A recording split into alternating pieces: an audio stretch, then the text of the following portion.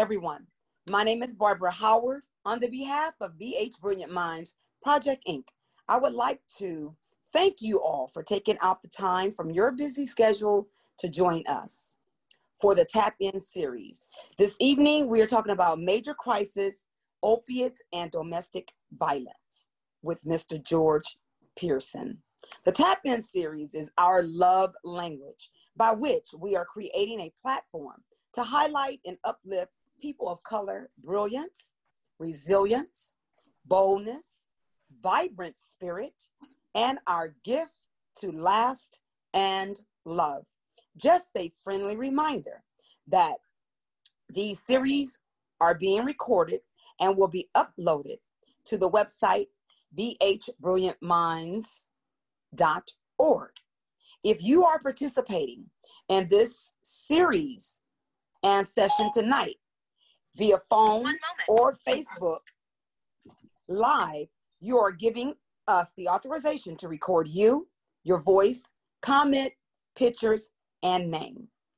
I would like to give thanks to our sponsor, the Akonadi Foundation, so Love Can Win grant for the COVID 19. I would like to make mention that Miss Samantha will be controlling the board, and she, if you have any questions, please type it into our chat box. Now that the business is out of the way, I would like to introduce Mr. Pearson. Mr. Pearson, can you share with us who you are and your name and, oh, well, yeah, I said your name, but the line of work that you're in. Okay. Uh, first of all, uh, Barbara uh, Howard, um, I'd like to thank you for inviting me on the show. Uh, again, this is a part of your lifelong commitment to uh, educating the community and uh, providing a, a, voice as well as tackling some of the deeper issues from a culturally competent standpoint. I want to thank Samantha for doing the show. I'm very blessed and humbled um, to be a part of this uh, conversation. Um, well, I guess I'd say that um, we always talk about education, but I'd like to kind of give about two minutes to talk about what brought me here. Um, I'm born and raised in Oakland, California, uh, and uh, was a part of a quote unquote middle class background. Um, my uh, uh my mom was uh, uh, on her third marriage and she met the man of her life, Jimmy Smith, not my father, who took her to a different part of the, of the world. And I was blessed to allow him to, for him to call me son. Mm-hmm. Um, my uh, father was not absent in my life. Uh, he was a very big part. And one of the reasons I'm here today is because uh, he decided to uh, loan me $500 for books to go to school, not knowing that I'd do this. Um, and what I say is don't ever limit anyone's potential. Uh, and right now, uh, we have to believe that we have the highest potential, and that's why I want to be involved in this and will continue to be involved in it. Um, I um, was a, I always share this because I think it's important. It's not where you been, it's where you're going. I was a special education student for from grade five to grade to the ninth grade. And if you've ever been a part of special education as a young male, as a young black male, is very special because it already places you in a point in your mind where you don't think you are worth anything. Mm. And so a lot of the issues around domestic violence, around uh, substance abuse in the context of COVID is uh, self-worth.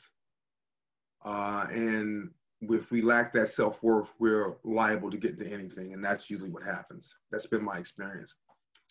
Um, I uh, uh, was lucky enough uh, to get past that and uh, did an education, education in, uh, from junior college to college. And um, why I'm saying this is because the path that you lead takes you on a lot of trips and turns, and if you're not resolved in that if you're, as that black man said, not willing to take the harder role, then you might not survive this. And and so, uh, I at uh, my junior year in high school, I was blessed with a child, my son Kenyatta Pearson, and I knew that I had to do something different.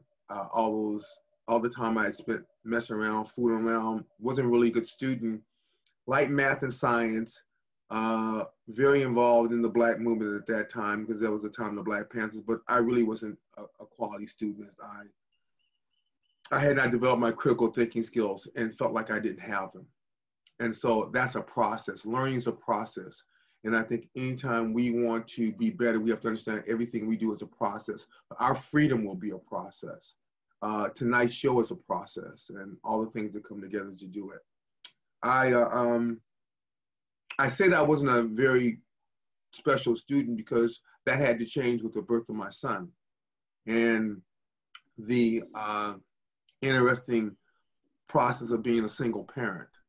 Uh, the woman that uh, I thought wanted to be my wife decided to not be my wife and wanted to date my uh, brother's uh, best friend.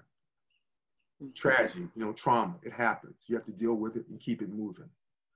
Uh, I took my son, uh, applied for the paperwork to get him, and at that time, men didn't get their children. They, they always went to the women and uh, I applied uh, for uh, and went to court. And uh, it's always interesting because uh, my father had to come with me to get our name changed, so we would all be filing together. It was always interesting. I'll never forget having to ask this white judge to give me my child. Mm. So even at that time, our ability to be a father is always compromised, even as young as I was, and knowing the things I knew I had to do, he reluctantly signed the paperwork. And so that started my legacy, uh, and I became a voracious student. Um, I was, uh, I just got, not I went in the military, came out, uh, and I ended up doing 12 years as a, uh, uh, uh, a medical, a battalion medical officer, and um, ended up leaving about the beginning of the uh, Iraq War because I didn't want to. I didn't want to fight. I didn't. I didn't think killing another man of color was going to help my cause. Um, I uh, then went to uh, Merritt College. I got. There's the only place I got honors. I got honors in math and science, which is the STEMs, what you call the math science. And I just threw myself into it because one, I was hurt, and secondly, I still had to take care of my child. Mm-hmm. Um, and now I understand because I don't know what it was, but the that mothering or that need to protect my child grew really strong in me without my uh, my son's mother. She would never be a part of his, his life, only in in, in um, passing, and that kind of shaped my world. Um, I was uh, I applied to Stanford. It was an hour test and then I went down to Stanford and I was interviewed by the medical director, by the um, uh, the, the staff psychologist and the uh, psych coordinator, Jenny Fox, uh, Ron Garcia, and um, uh, Ruth um, uh, Ruth Stark. What I remember these people because they changed my life. Mm-hmm. I didn't understand Stanford. I didn't understand I just knew I had to get somewhere. I need to take care of my baby. And so when I got up in this big lecture hall down at the medical center in Stanford, Palo Alto, and they asked me what I was there for, I said I was there to survive this and take care of my child. Mm. That was my driver. I ended up uh, graduating uh, the PA program after a lot, a lot of issue. You know, again, always uh, understand that I came from uh, Oakland Public Schools, uh, and we weren't prepared. That's mm-hmm. one of the ways they get us. We weren't prepared. Uh, by the time I'm getting out of high school, all my peers had been in calculus, they had been in trigonometry, they had done health care access, their fathers were doctors, you know, I didn't have any of that. My, my parents were uh, uh, laborers and I helped them. Uh, I, and for a large part of my life, I was a laborer too because we had to all of us had to work in the, in, in the home in order for the, us to pay the house note, which is kind of mm-hmm. interesting now that when I look at my father's uh, stuff.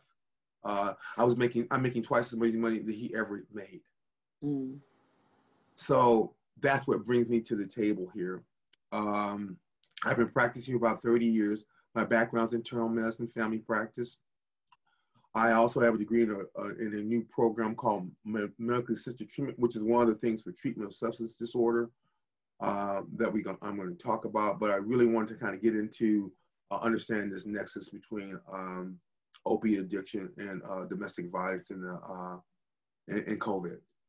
Mm. So, if there are not any questions, I'll get started. Get started, sir. Thank okay. you. So, um, I entitled this per Barbara's request, uh, uh, I, medical crisis, the intersection of opiate, of the opiate epidemic and domestic violence in the time of COVID. And I guess I must say that um, I have to now highlight these things. I want to thank Barbara and I want to thank, uh, um, uh, again, uh, all the staff for doing this. Um, again, uh, part of the discussion around us is being medically underserved. And if that starts, it starts in about the late 1600s, or I guess 1619. Uh, the events of a, um, a modern day lynching, institutional and structural racism, uh, and issues around trauma color our healthcare and color our um, inter, inter, interaction with the system. Uh, we are frightened of the system because if a system knows that you're only three fifths of a human being, then how could you trust it to take care of you?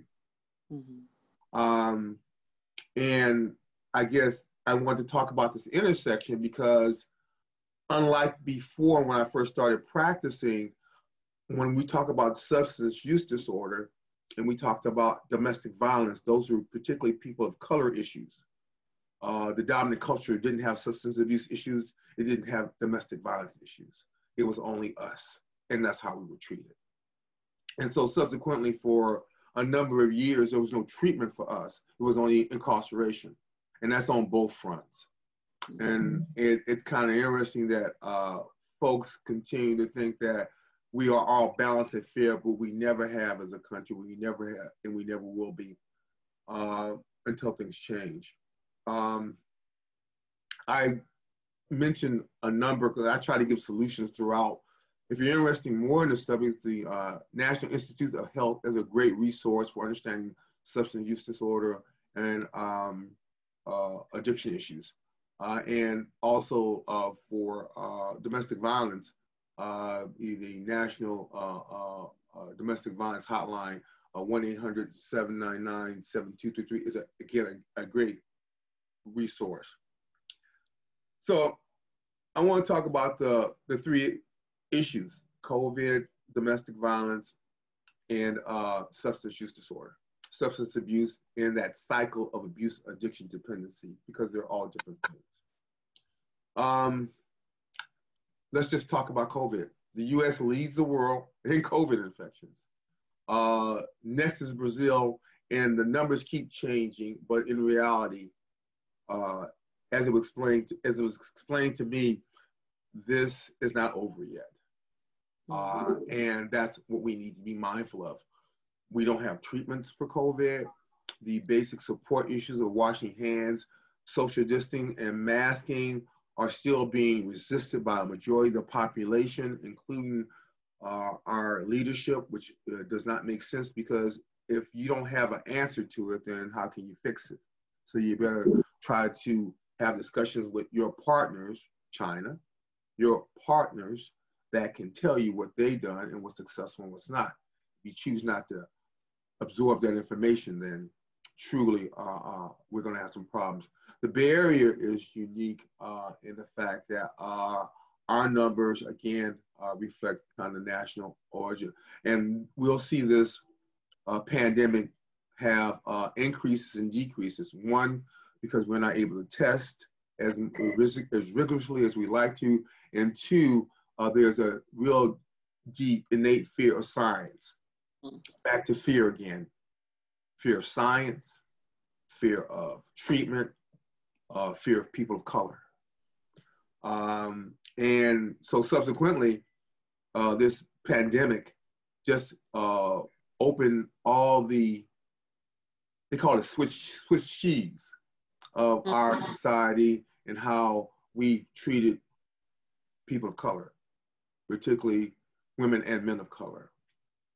Um, you, you, when you're talking about numbers, um, I think that one of the problems is that we're still not getting clear data.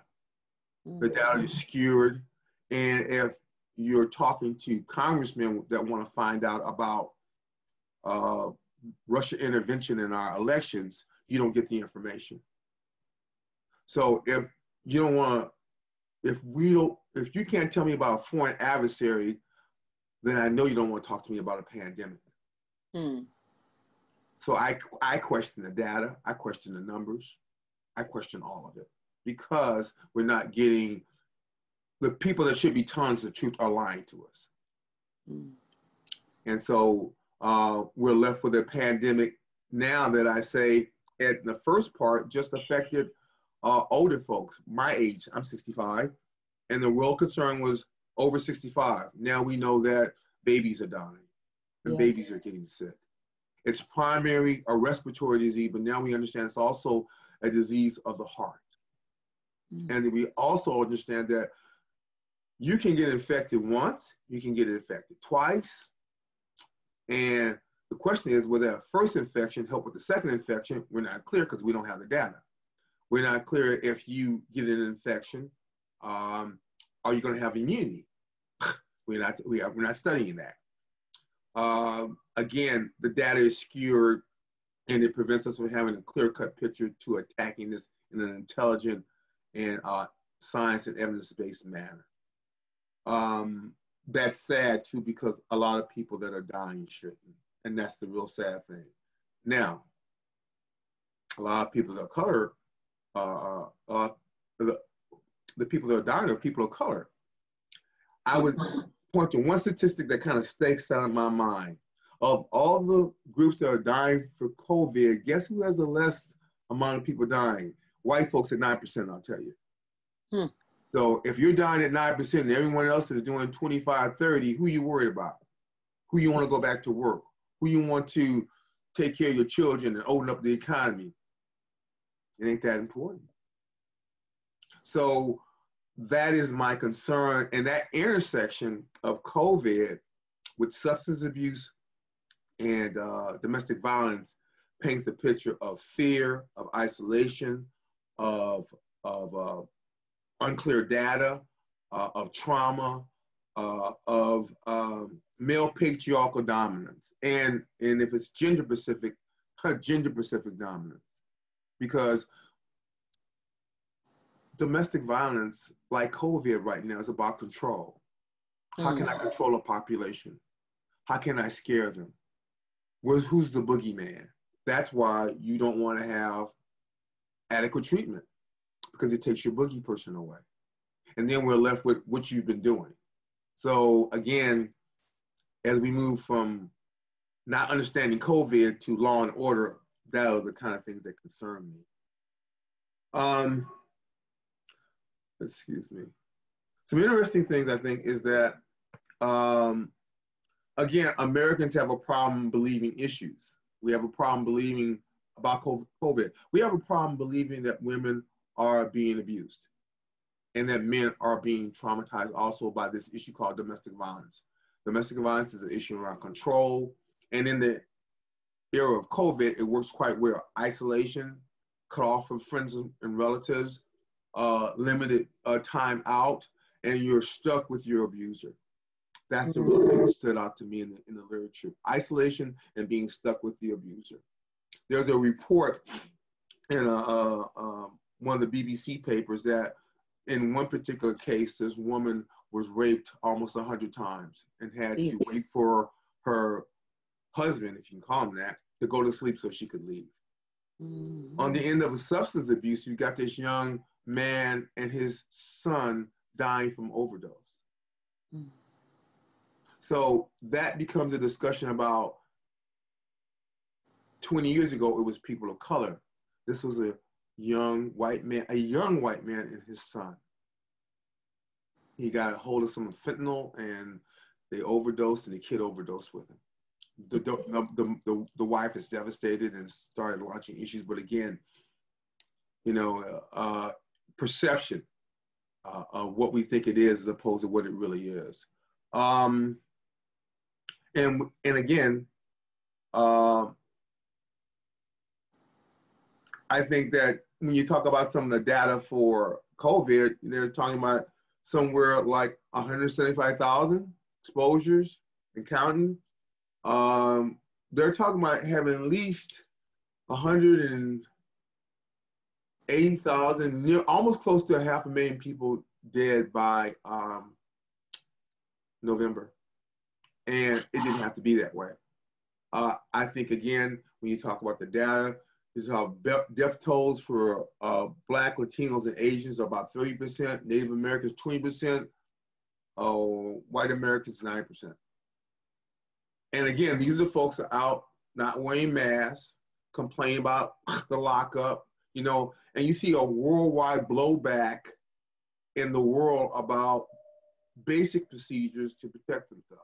Because again, we don't have a treatment and we don't have hospital capacity. And myself as a healthcare worker, I'm exhausted. Mm. I'm, I see a lot of people, a lot of sick people. And again, a lot of the issues around this is fear, PTSD, depression, anxiety, not just for the fam- family, but the children, which really has not been talked about. So when you look at both of these epidemics, the effect on children is dynamic and disturbing uh, and scary. Um, I just have issues with babies growing up seeing friends and family in mask. What does that, how did that change your perspective?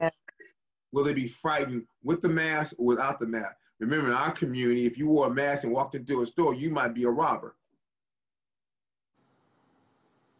How quickly things change.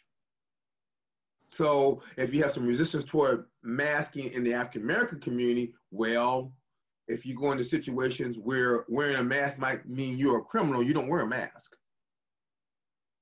Seems kind of simple, but wow, think about it. Um, it says that um,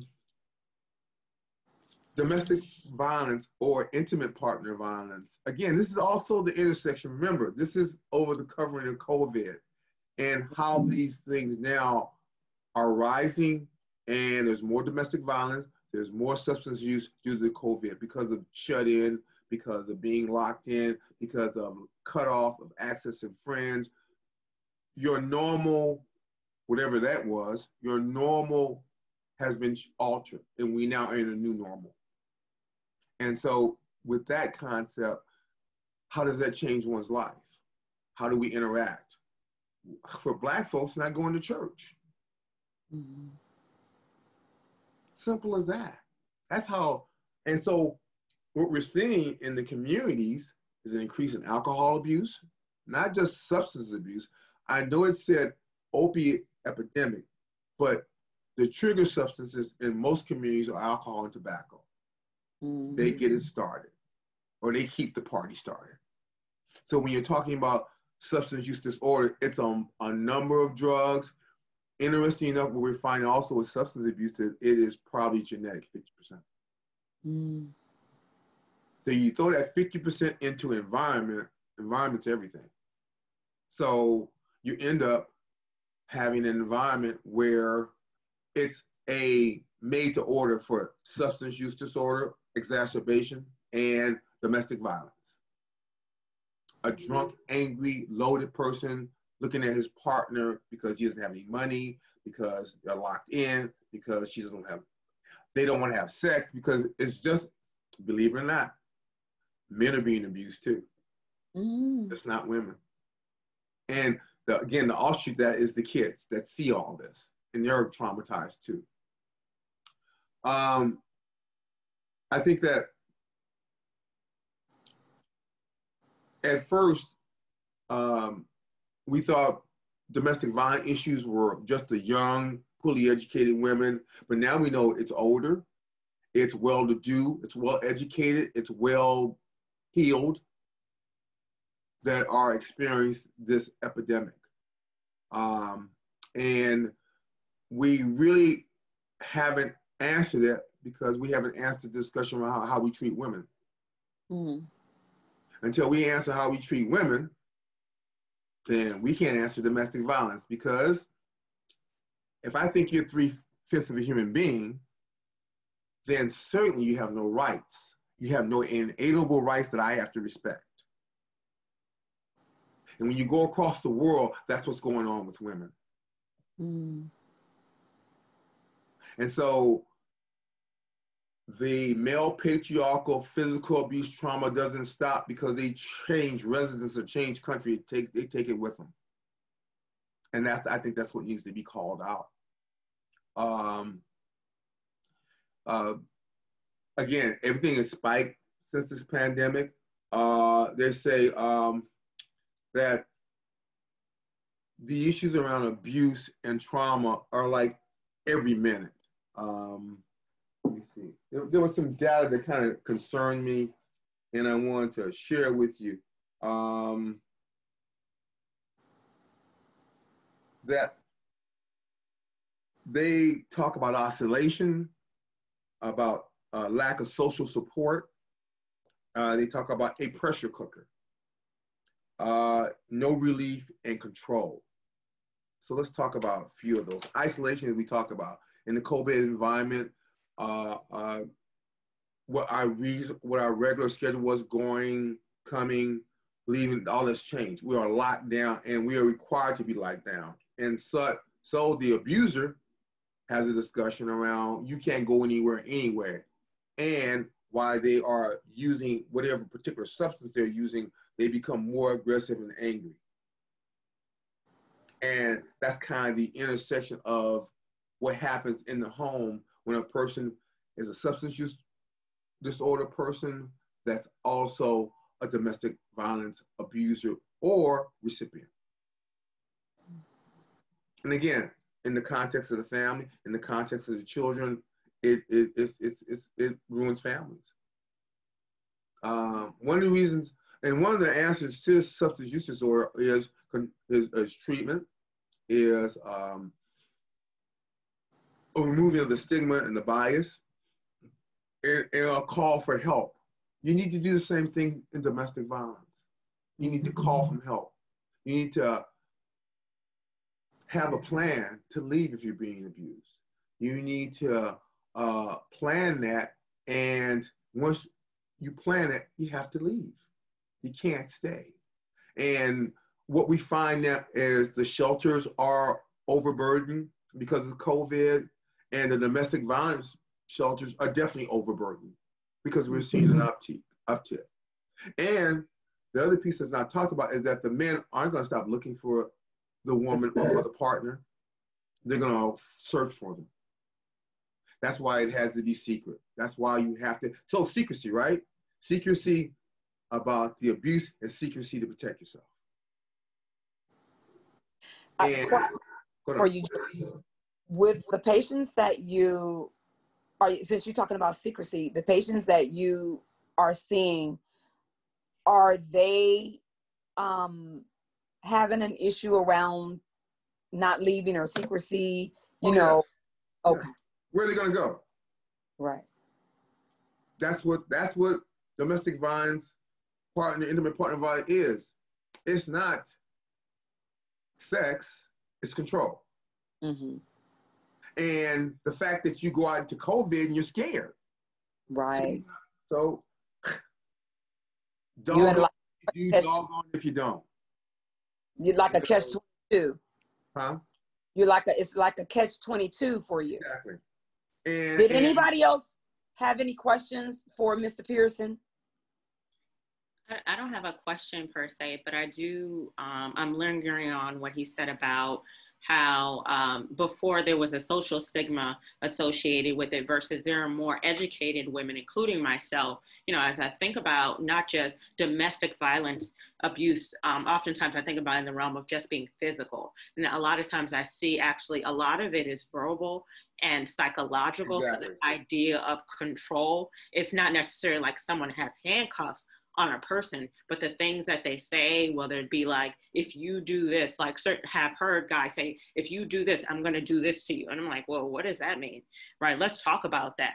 Right. So I think how can people and, and another thing is women it's like economically relationships have changed. So a lot of times partners would stay together for economic reasons. That's not always the case right now, especially with more educated women. So they don't necessarily need these men, but it's the emotional support. But with the psychological piece of it, it's the idea that even though I may not need somebody, they're making me believe that I need them. And it almost becomes a sense of reverse psychology. So, how to go about um, not being entangled in all of these mind games? Well, it's the signs of an abuser, you know.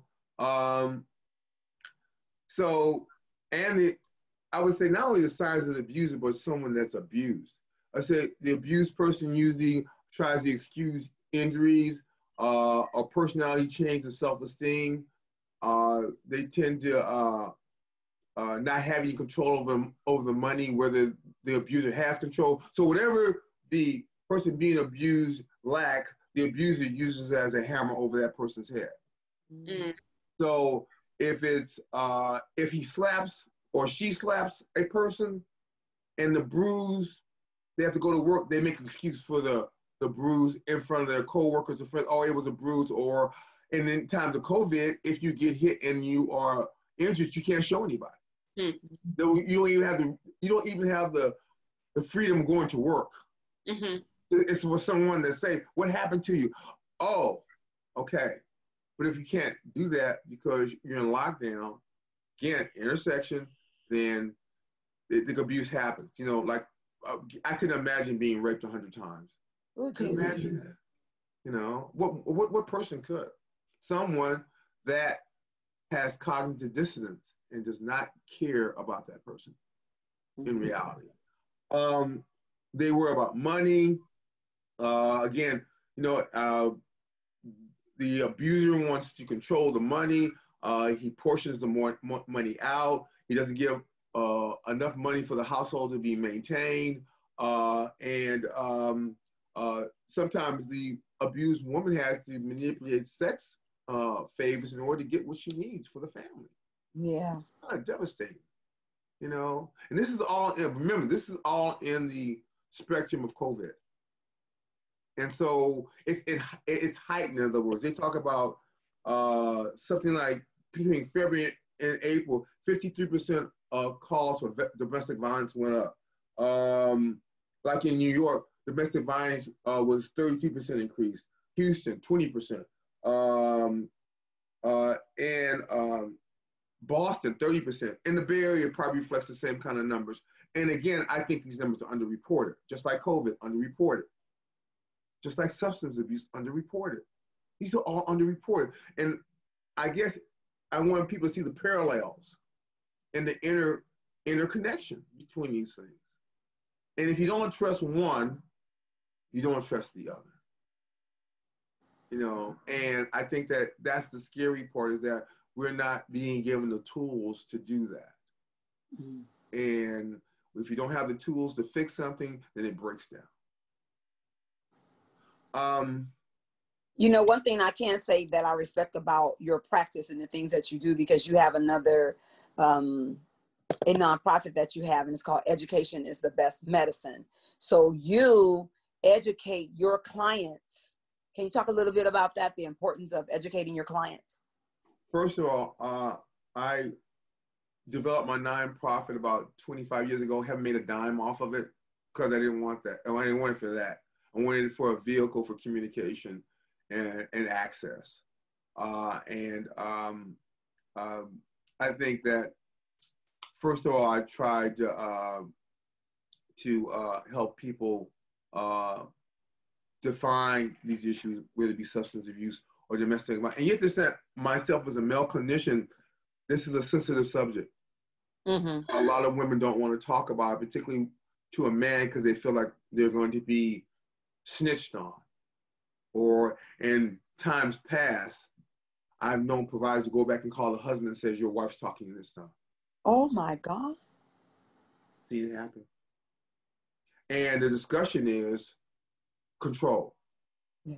It's always been control substance use disorder, excuse me, domestic violence is about control. Substance use disorder is about pleasure. Mm. I don't want to feel this way because I'm so hurt. Mm. I'm so mm. traumatized. I need to cover up this pain. Mm. And that's what we use substances for. Hey, the biggest issue in addiction is food. Mm. Not drugs, it's food. We have more poor health comes from obesity, overeating, in regards to diabetes, hypertension, cancer, than any of the things we're talking about combined. So we have to start looking at addiction differently, not just a substance, but a culture. We're addicted to violence. Mm-hmm. We're addicted to sex. We're addicted to trauma because we haven't dealt with it. Mm-hmm. And I think that that's the scary part that in 2020, we still haven't dealt with it. The, how about this? If the dominant culture can't deal with it, what do they expect us to do? If the dominant culture is now having issues with domestic violence, always been, substance abuse, abuse, always been, then what's the issue? The issue is that it's a problem that affects all of us. Mm-hmm. You know. And I think that until we get to that point, then we waste everybody's time. Um, I think that my patients, first of all, most of my patients have four to five medical problems. They're medically underserved. When they first meet me, I'm the first clinician that sits down and talks to them.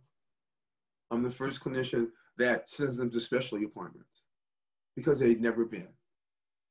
Having had hypertension for years, having had diabetes for years, never got sent. So much that now they require eye exams and foot exams because we were so poor in it that blindness was the third leading cause of, of uh, in diabetes. Blindness, uh, in terms of blindness, diabetes is the third leading cause because we didn't treat them properly. So, and also foot exams, amputations, commonly uh, diabetic amputations are worse because they're non-traumatic and it's about blood flow and about too much sugar in the foot, basically, sugar foot. Right? Mm. And when you do surgery on the foot, if you haven't controlled the sugar, then it doesn't heal properly. So for a number of years, people of color wouldn't go to the hospital because they were afraid of getting their foot cut off. And you know what? It always got cut off somewhere. So you're basically saying it's best to deal, even though you don't want to deal. You need to some kind of way. Yeah, um, yeah. Trust yourself. You, become, be, you have to become educated. Yeah, there we go. About who you are, about your family history, about heart disease being the number one cause of killers in the African American community opposed to gun violence, and to how to treat that plant-based diet, exercise, proper taking of medicines, proper follow-up checkups. Those are things that address uh, chronic illness. Because why did I say that? Because those individuals that have chronic illness are more likely not only to get COVID, but to die from it. Wow. And what the what was explained to me, I just heard this recently, is that when people have particular conditions like hypertension and diabetes, we consider these now to be inflammatory conditions. You get exposed to COVID, which is an inflammatory virus, uh, not unlike the flu virus. And remember, folks, flu is coming. It's not going anywhere. It's going to come.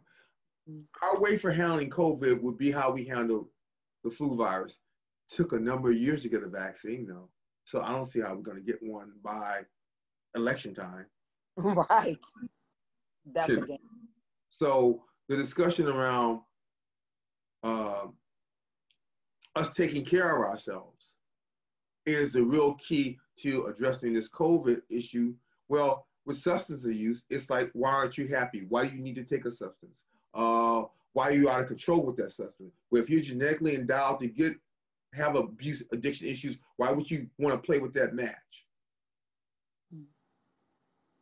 If it's domestic violence, then you have to start treating everybody better, regardless of class, sex, gender. And I think if men like myself, and that's why I'm talking about this, why I took on the subject, have to talk about this in the context of abuse and trauma. And we have to call it out and say, we can't live with this. Like what's going on now. Finally, people are calling us out. They're saying this is not acceptable. And if you want me to view this as a normal event, I have to take issue with you about that. So whenever you acclaim your rights, you know, be your best self. What the Oprah said, be your best self. Uh, be your best me. That's an issue for everybody. Because that means I consider myself important. I consider myself honored. The biggest problem I have in the women of color I take care of, and I'll say it to you both ladies, is that until you take care of yourself, you can't take care of anyone else. Mm. And so, and to uh, to uh, to echo uh, Samantha's point, the domestic violence isn't isn't physical. Ninety, I'd say eighty percent of it is verbal, mental abuse, control issues, control of money, control of environment. You know, even to the position in sex. Ooh. And so we don't have if we're not giving, we don't understand that, then we don't understand domestic violence and intimate partner violence because it's intimate. Most of these folks had a great relationship before they started being abused. Mm. It was the person they thought they could spend the rest of their life with. That's what those are stories that were told. And all of a sudden it went dark.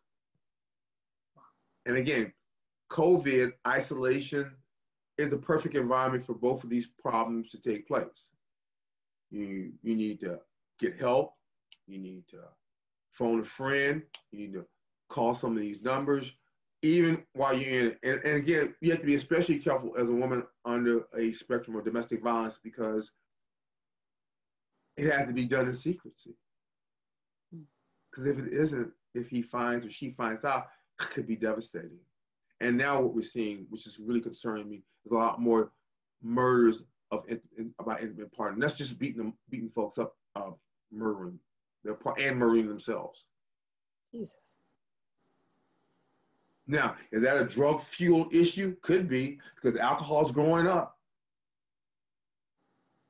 So mm-hmm. now we are dealing with these two. How about this? We're dealing with pandemics that have been around for a minute. Mm-hmm. COVID is just the intersection and COVID is exposing a lot of this um, things that was swept under the rug too. Of course, of course, of course. Like substance abuse. Substance right. abuse was a racial issue. Mm. You got more years because you had crack cocaine versus cocaine. Mm-hmm. There's 2.5 million men in jail for non-violent drug offenses now that cannabis is legal in California, will those folks get out? No. That was before the law was passed. We can't legislate a lot of this stuff. We, I, I, you can't legislate domestic violence. It has to be a culture change. Mm. It has to be when these things happen, they are addressed. Substance abuse has to be for everybody. Treatment has to be for everybody. Interesting enough, in my treatment, I, well, I do a MAP program where I use Suboxone, which is for opiate addiction. Uh, and uh, methadone is the middle drug. I don't use that as much because I don't like it as a drug because uh, of my experience with it uh, in terms of uh, treatment issues and naltrexone. But the two big players are Suboxone and naltrexone. Naltrexone can address alcohol abuse issues, and, and it's also prevents. It's the drug that you prevent when you get when you want to prevent overdose in an individual. Uh, Suboxone is a, a opiate, uh, uh, partial opiate agonist that sits on the receptor and prevents opiates from sitting on the receptor, thereby preventing uh, addiction issues and curbing a, a, person's craving. A lot of this stuff goes on in the brain. a lot of addiction or domestic violence start in the brain. They start with trauma and environment. And then it, it, it, then it accelerates when you have men that say it's okay to do it. So that's the problem that we have now. Huh? Or women. oh, well, yeah. Oh, definitely. But to that, I think about also just like generational cycles, and if families have seen their fathers or their mothers be abused or be abusers, then what you talked about earlier in terms of it being normalized and thinking this is okay. Like, how do I reprimand a woman? How do I reprimand a man? And it, it becomes more prevalent. So it's hard to break that when they get older unless they come to a conscious awareness about it. I'm thinking just in terms of the Me Too movement last year, and there's privilege in speaking up, how oftentimes most women of color, they just get paid off versus uh, women of color, we get ostracized if we do say something. And I think that we're afraid of judgment in the process, um, but then also looking at how R. Kelly was treated versus how um, Epstein was treated you know, and there are not just like wrong is wrong. And there is inequalities and disparities even there. So that's why I take you back to the late 1600s.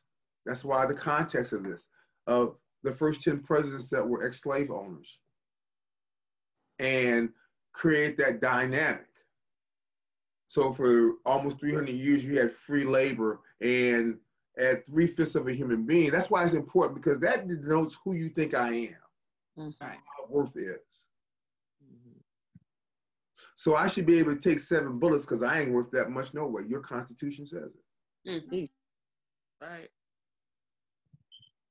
So that's the context by which we are layered male patriarchal, dominant, control at any cost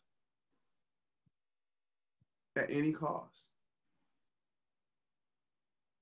Mm. That's how I look at it. Um, we are in a unique time, uh, and I think that history will show that those that stood up are going to be fine. Those that didn't, man, what were you thinking about? What were you thinking about? What, what, what, what's, what was your worth at that time? What you going to tell your kids? What you going to tell your family members? You know, you know, you gonna be a Kenny Smith or you gonna be a Shaq and a, a Barkley. One gets up and walks off the stage. The other two sit there and go like, "Oh, we playing basketball, ain't we?"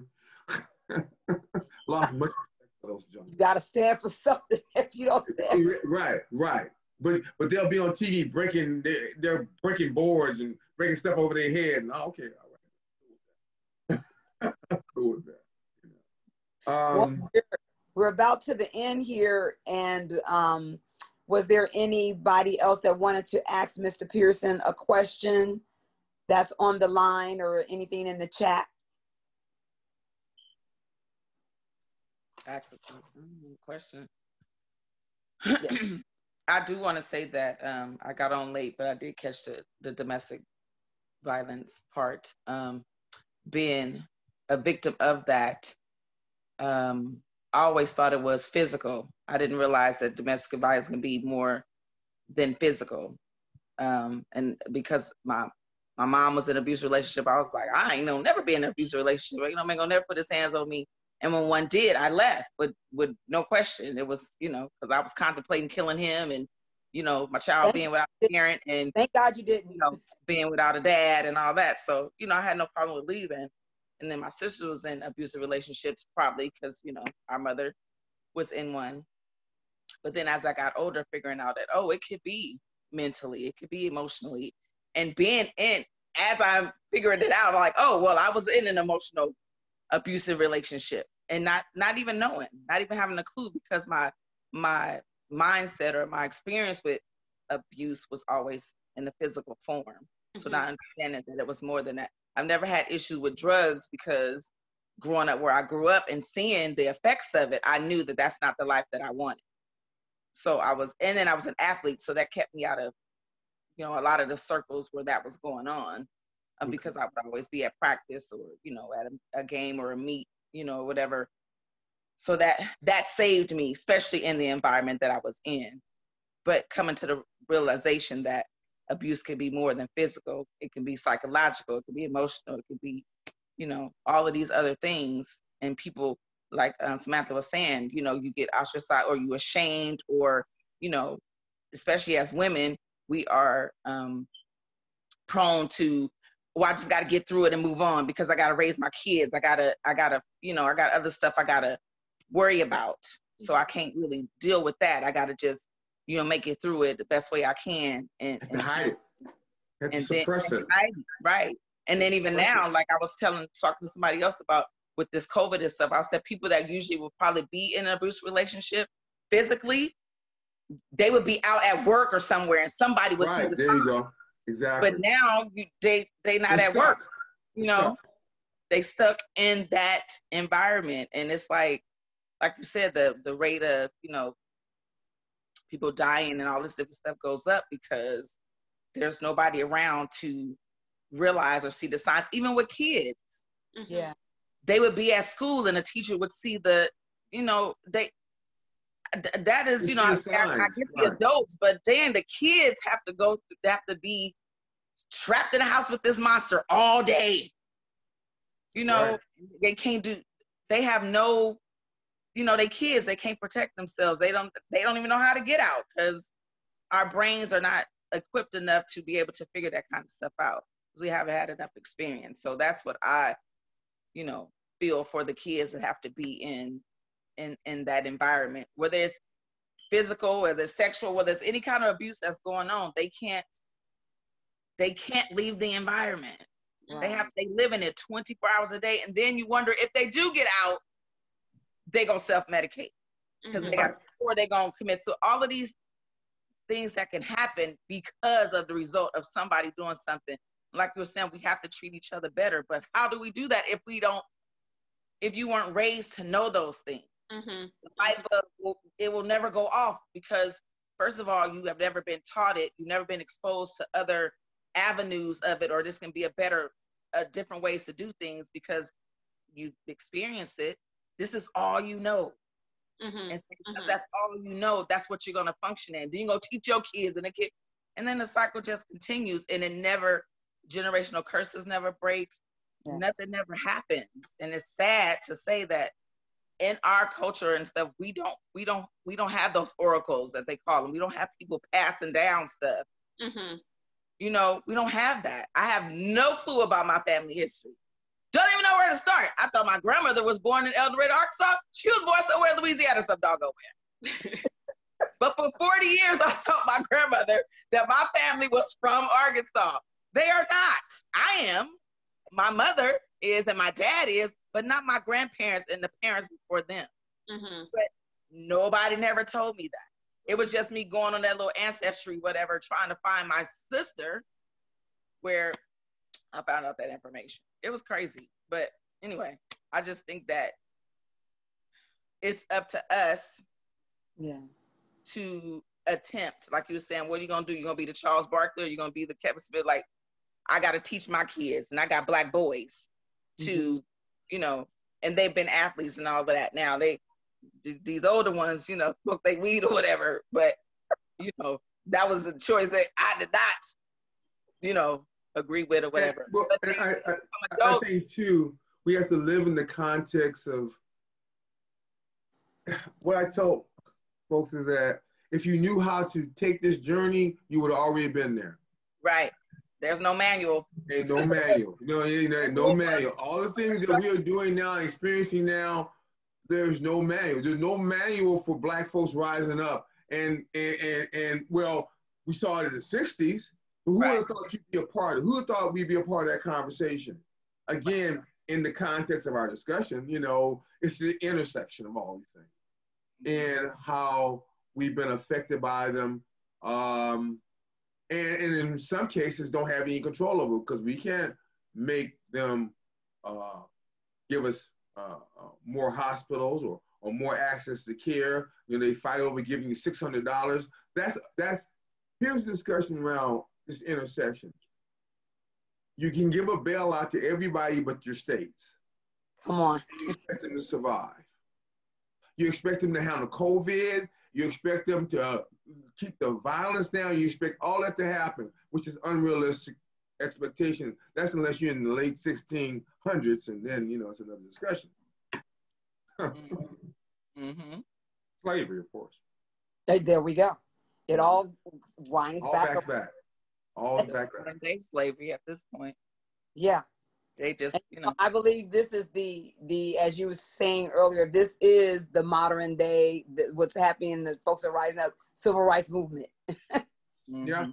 Oh yeah. I mean, uh, um, I think that um, we have to um, live in our truth, Yes. and that requires that sometimes you have to stand up. I, I I always use this quote by Sojourner Truth. She said that she freed a whole bunch of slaves, but she could have freed a whole bunch more if they knew they were slaves.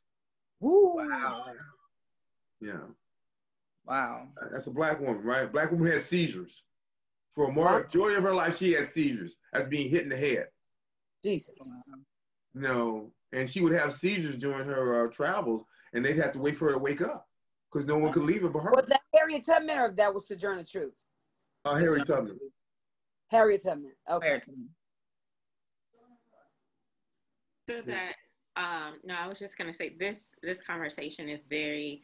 I, I just feel like we need to be having more of these conversations, and I think like such vulnerability that's required. Um, part of it is we began this conversation uh, talking about systems and how from a practical standpoint, just being able to reestablish trust within our communities. I think there's a lot of mistrust, so people don't know who to go to, whether it be friends or family, and whether it's like reestablishing a buddy system so that if something happened, you know that you can go to somebody without judgment who's not going to tell you you did this, you did this wrong. They're just there to listen and provide the support.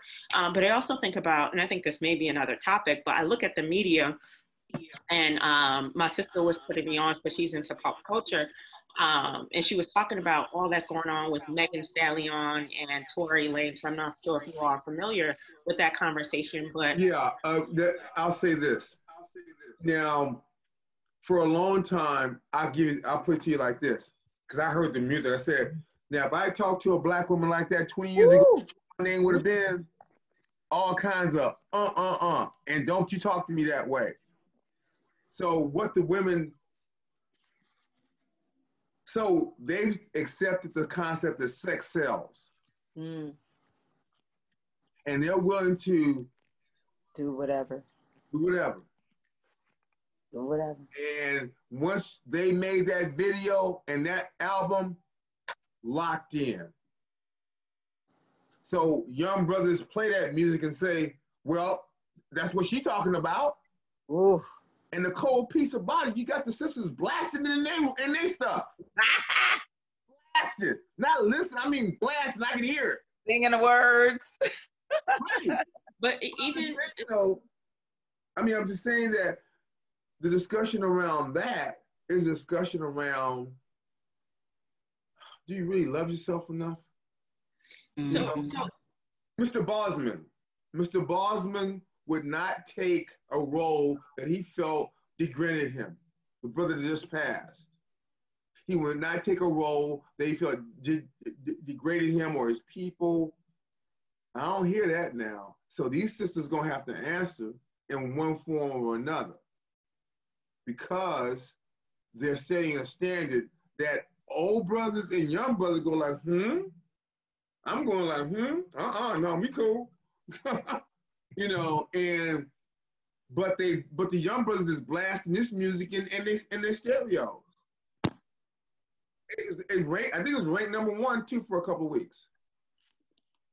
Yeah, no, just to follow up on that, yes, I think that uh, women have to take uh, uh, responsibility and accountability too. So where I was It's going it- dominated issue though. It, it, that- that music wouldn't come out unless those men let, let it come out. yeah, so I mean, long story short, um, Megan would they were together in a car ride or something, and um, the the tabloids had made it seem like she had gotten shot somehow exterior. she came out on Instagram saying that it was Tory Lanez who they got into an argument. He actually shot her. So we're talking about control, right? And mm. she was just like, I was, she was just like, I was so scared when the police showed up that I didn't want him to go to jail. So I right. shut my mouth. And so I, I think this thing about abuse too is Black women wanting to always protect Black men to the expense of our own self care and sanity. So, well, we know that black men are going to be treated differently than white men in that system under the same event. Simple as that. But, and that was one of the that's one of the things that the older black women talked to me about. That's why they didn't call the police because they didn't want their man to go to jail, and then who was going to pay the bills and all that kind of stuff. But they create this environment. But so, it's the same thing. It's the same thing that's happening now. Is what you're saying. But Samantha is also saying, how do we now even though that happened, how do you not put yourself in that situation that you don't even have to go there? Well, as I said before. Or go ahead. Was that, hold on for one second. Was that what you were saying, Samantha? Or share, let her hear what she was going to say. Go ahead. No, no, so that, so that's my point in that, like, I think that black women are, uh, black men are being attacked. Yes.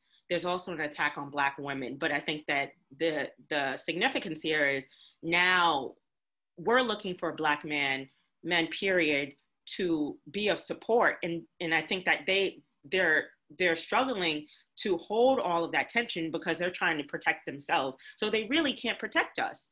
Right. Mm-hmm. So I think this idea of trust, who do we trust if I can't isn't that, isn't that interesting that you as a black woman, and you're absolutely right, say that a black man in my world does not have the capacity to protect you. And that's what was the ideal peace and slavery that they knew we could not protect our women. Mm-hmm. And it, it, it, puts itself to, to that piece. And that's what's scary about this is that, again, back to the late 1600s, I, why I keep taking it there because in reality, it really hasn't changed that much. Uh, and the discussions around there are people that don't believe George Floyd is dead. Yeah. What? They don't wow. believe it. Jesus. There are people that believe that if the vaccine comes, there's going to be a transmitter put in it so people can be tracked. Mm-hmm. So if you keep dealing with this unreal lack of science, lie trip, you're not going to have any good outcome because it's starting from a bad space. In other words, in order for us to deal with our abuse, they have to deal with the abuse that they put on us, and mm-hmm. they don't want to do that. So if we're waiting for them to acknowledge that, they're never are going to because they would say that, wow, we need to have reparations and everything else because y'all, y'all know y'all screwed over us. But they don't want, that's not an acceptable piece. For black men, a discussion around us protecting our women is probably why we don't do it. Hmm. You know, and how about this here? If I was gonna protect you, would you? Boy, I tell you, be tough.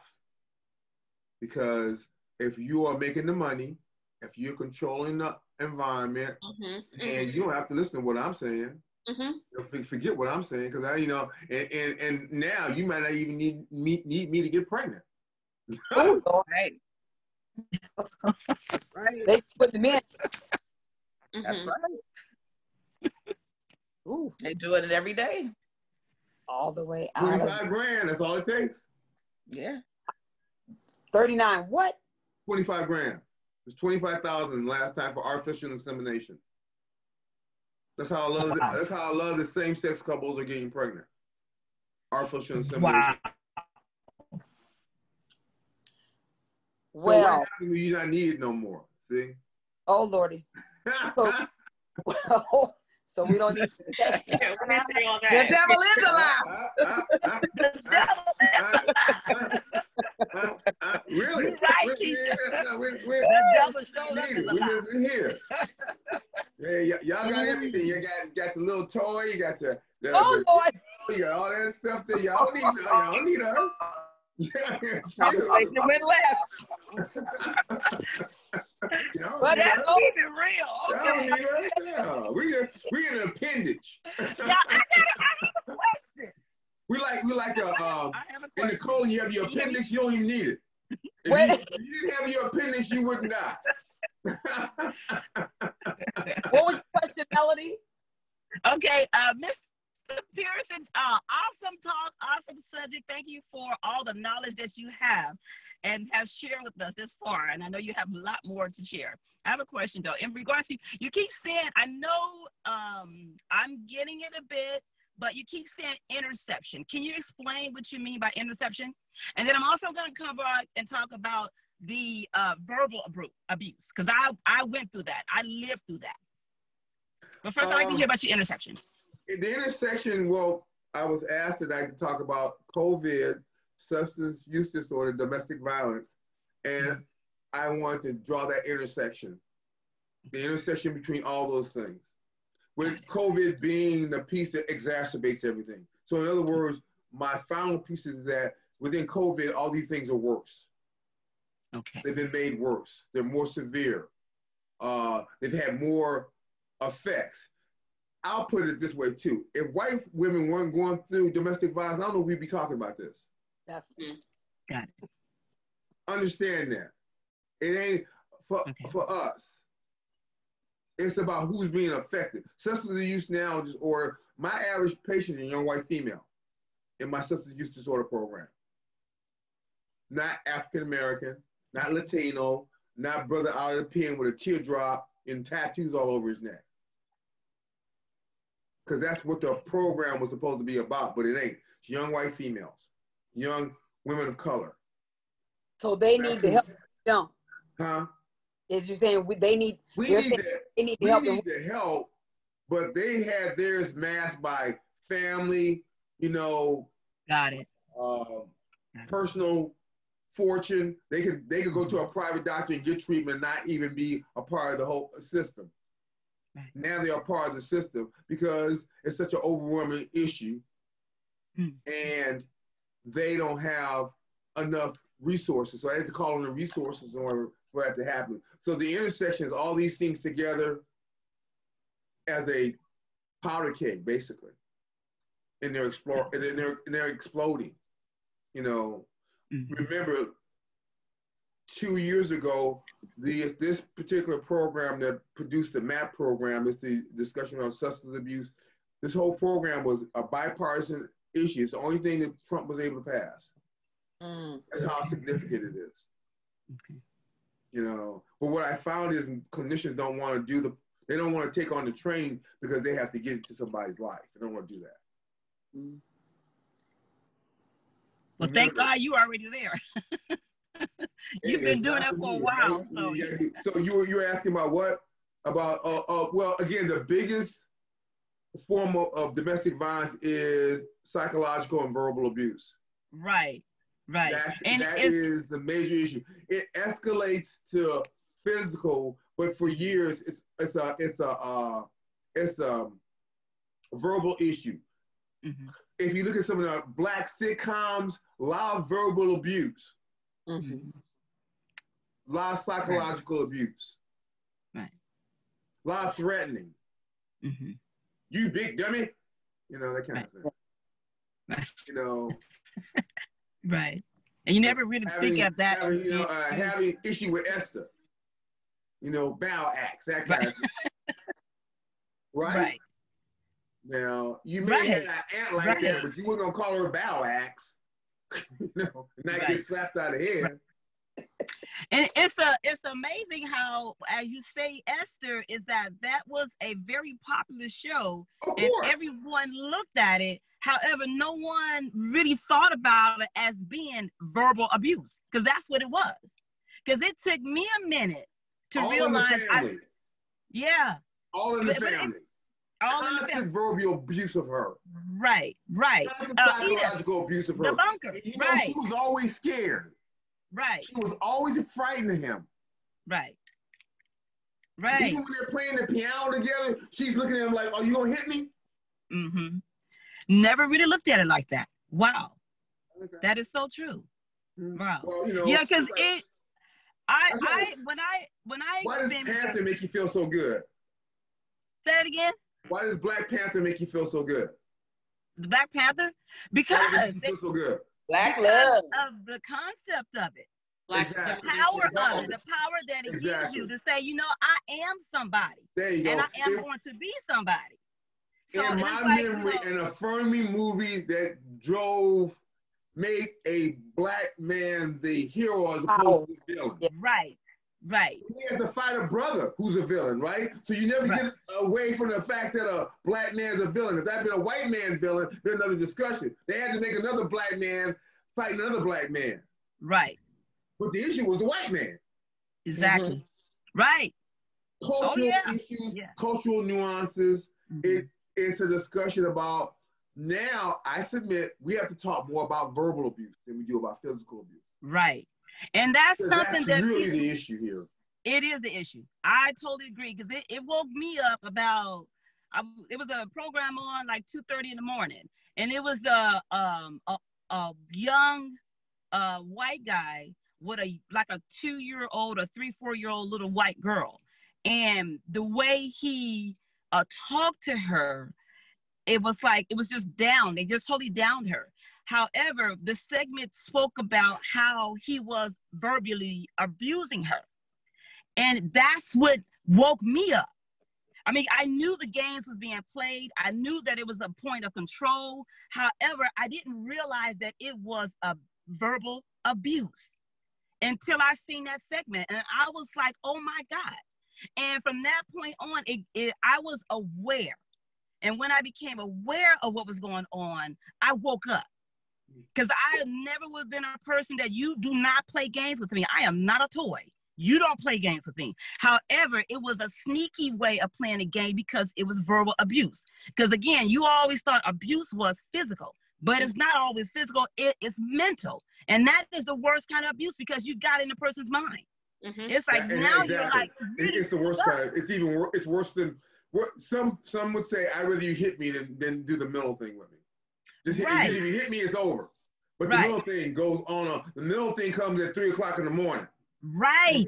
What one of the new It comes 7:30 Sunday morning. It's like, okay, this is the best thing you're gonna do is are you at 7:30 in the morning? Are you Mhm. kidding me? Mhm. I, I suggest you look at a term Right. called gaslighting.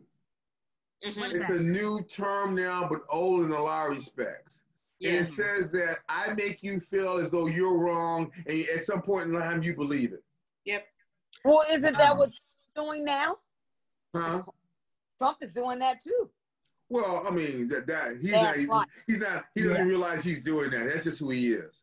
Some people have an intellectual thing behind what they're doing. He doesn't have an intellectual thing. It's just who he does. He just likes to stroke the fans. That's what gets me. It makes him feel good. See, he's doing what makes him feel good. So he don't even have an intellectual background behind that. But I, I, I've also been studying narcissistic behavior Yeah. And how that's very prevalent within, I mean, across the board with Oh, yeah. psychological abuse.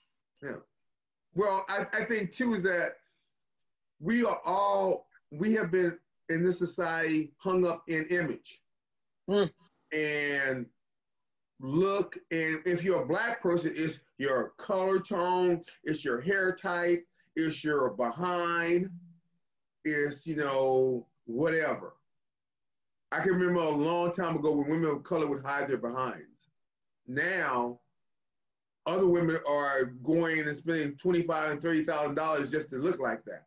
And Mm. most women in this um, in this on this call already had it. Mhm. What does that say about how we've been uh, traumatized? About how we look. Mhm. You know, I can remember some program where women wore their natural hair and were fired Right. hmm because they wore their natural hair.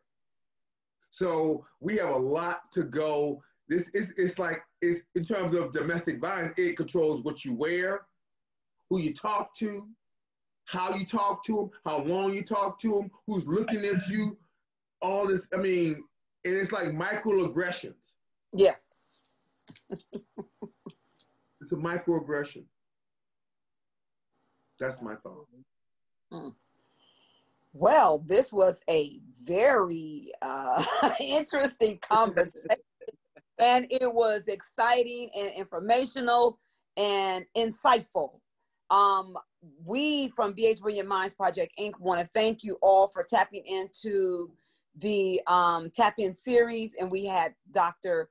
Uh, the uh, um, Jesus, look, physician, phys, uh, physician,